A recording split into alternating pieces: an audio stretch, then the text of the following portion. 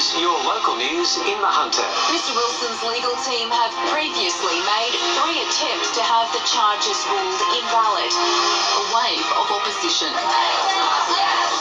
Some dug in, while others let off steam. The Laurie Daley Cup is a new country rugby league development initiative, and Newcastle is the front runner. NBN News, your team committed to delivering local news nightly at 6.